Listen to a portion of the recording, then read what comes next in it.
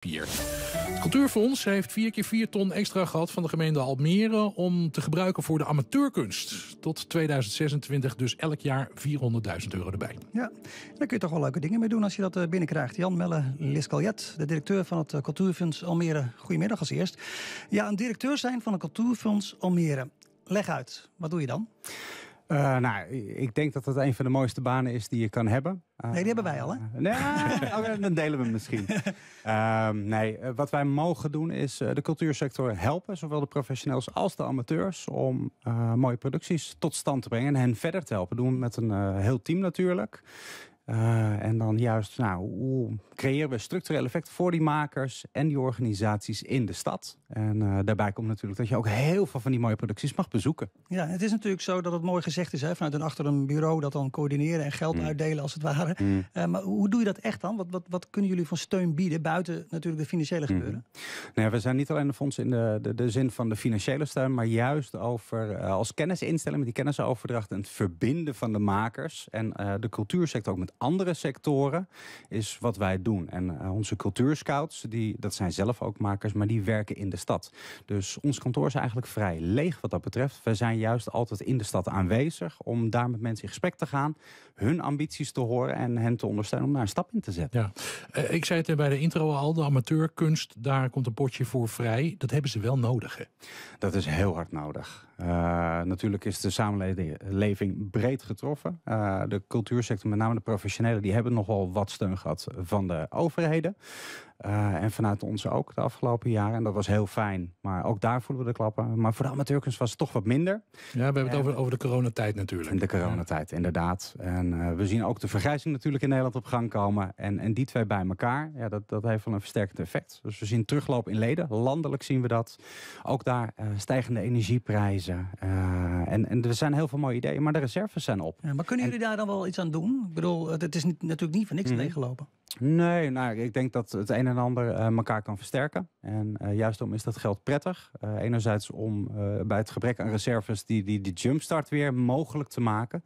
Maar ook door als kennisinstelling bij te dragen met workshops van hoe gaan we gezamenlijk slim leden werven, zodat de, de verenigingen weer body krijgen. En vandaar dat het weer zelf gaat lopen, want het is natuurlijk tijdelijk geld. Ja, jullie zijn met verschillende dingen bezig. Je zegt het is vooral ook leuk om bij de, ja, de gezelschappen te gaan kijken. Zeker. Wat vind je dan vooral leuk? Wat, wat, wat, wat spreek je zelf het meest aan? Uh, ik kom zelf uit de podiumkunsten. Dus uh, dat is dan voor mij natuurlijk een, uh, een meer natuurlijke loop. anderzijds vind ik het juist fijn om de breedte van onze sector te zien in Almere en Flevoland.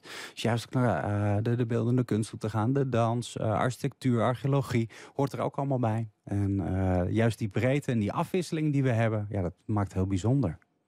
Hoe zit het met het uh, uh, nieuwe museum wat er, wat er komt, M? Mm -hmm. hebben jullie daar ook mee te maken?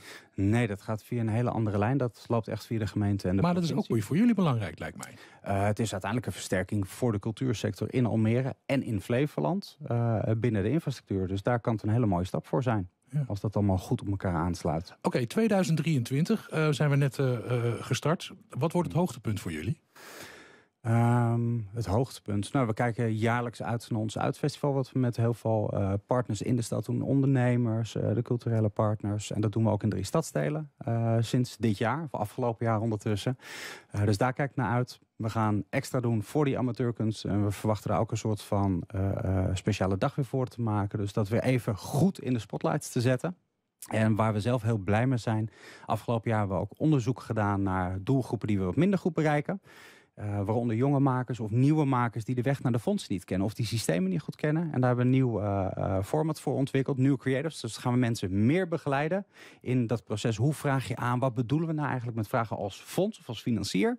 Kleine bedragen kan je de eerste stappen maken, maar zo leer je ook hoe je door kan lopen naar andere financiers. En gaandeweg ook je product ontwikkelt en zelf professionaliseert. Dus weer minder afhankelijk wordt van de financiers. Ja, dat, dat zijn dus dingen die dus nu misschien iets minder lopen, maar in de toekomst beter moeten gaan lopen. Ja. Zijn er dingen echt nog dat je mist in Flevoland of in Almere dat je zegt, ja, dat, dat missen we nog, dat wil ik echt nog wel breder op de kaart gaan zetten?